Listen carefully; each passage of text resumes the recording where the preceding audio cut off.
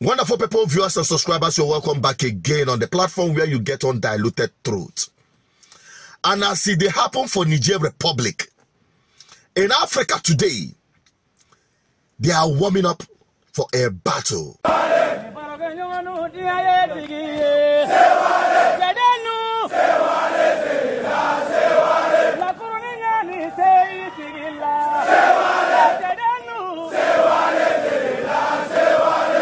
And the battleground is Niger Republic. What are they fighting for? And who and who are fighting? Are in this war. ECOWAS have declared war on Niger Republic, claiming coup. Now, let this our wonderful mother, mother of Africa as we have today, tell you what really coup is all about. Let me remind you that there are other coups that we are not talking about that we should be talking about. By France forcing Niger to send all its natural resources to France, that's a coup. By France having its own military in, in Niger and forcing Nigerians that you can only be trained by France, that is a coup. By forcing Niger to deposit 50% of its uh, reserves with France, that is a coup. The question I have for those who are sitting on the table during those ECOWAS meetings, during those AU uh, peace and security meetings, what have you done about those coups? Take those three coups, multiply by 14, because that's what's happening in the 14 former French colonies. Those are deadly coups that have been taking place for decades. And you ECOWAS have done nothing about those coups. I need, I need them to also answer and, and give us remedy as to how they are going to handle those coups. Make no mistake about it.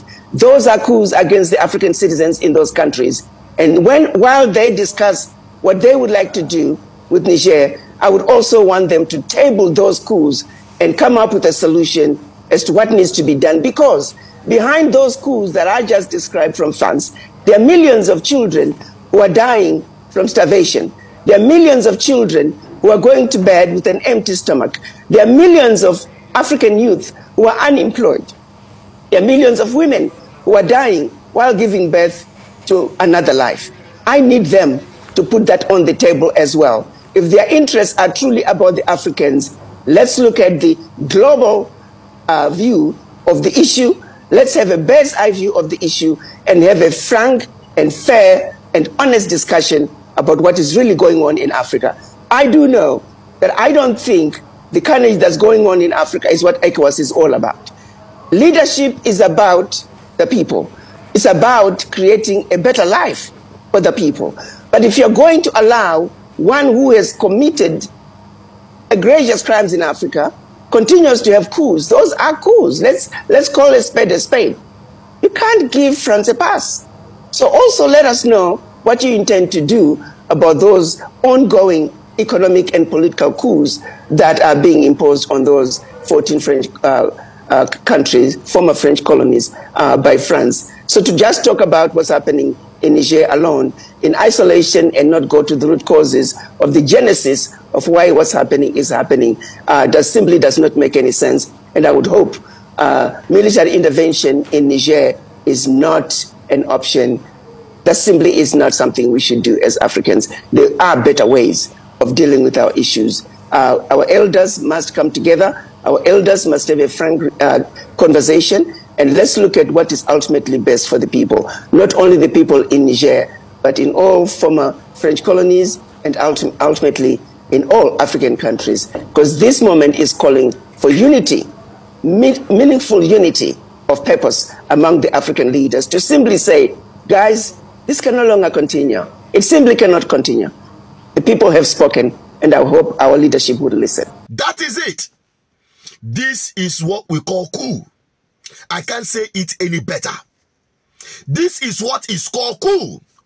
Having France pointing their missiles and their soldiers in our backyard, planting them there, dictating what happens and what doesn't happen in African soil. And the people revolted against their puppet through their militaries who took over power from them. You saw the massive support even as Mali, Burkina Faso are rallying support to back Niger. Some ECOWAS leaders, led by Nigeria, especially as we have now an illegitimate president leading a war against a fellow black man in Africa because they want their resources to work for them. Check any pro Western government. Check the countries that are ravaged by corruption and impunity in Africa. They are always being pampered. They are the favorites of the Western countries. That's as much as we have today. And that is why Africa had never developed. They see these coups happening in Niger, Mali, Guinea, Burkina Faso as a liberation, as their own kind of democracy they have defined for themselves, and not this democracy these Western peoples empower in Africa, especially as we have it in ECOWAS and even in the East African uh, uh, uh, countries. Enough is enough. Enough is enough. You are rolling out tanks. They will be quick to supply you ammunitions, missiles to kill yourselves over the resources in your homeland. The West, they'll be quick to do that, but they will not be quick to establish their industries in Africa to create jobs. They will not be quick to put in institutions to train your own people to harness, to get you involved in your own development. Just as much as we have it during the colonial days. That's what is happening today. They'll build railways that takes the raw materials from the hinterland to the to, to the shores where they export it. That is the only kind of development they bring to you. And today is even worse. They bring their machine, their gun and uh, war machines around you, establishing military bases using same to tell you uh, you are practicing democracy. Rubbish without that kind of democracy. To hell with that kind of democracy. The kind of democracy that had brought only abject poverty on Nigerians, on Africans as a whole. To hell with that kind of democracy. I am not a promoter of military rule, no. But we have to define our own democracy that works for us. In a government where the people are not allowed to vote, where the people are being killed just because they want to cast their vote and elect their leaders. You put yourself there in, by force. France would have not see that one will happen for Nigeria. America, you didn't see the wickedness, the impunity, the coup that happened in Nigeria. You didn't see it. You didn't see that a coup.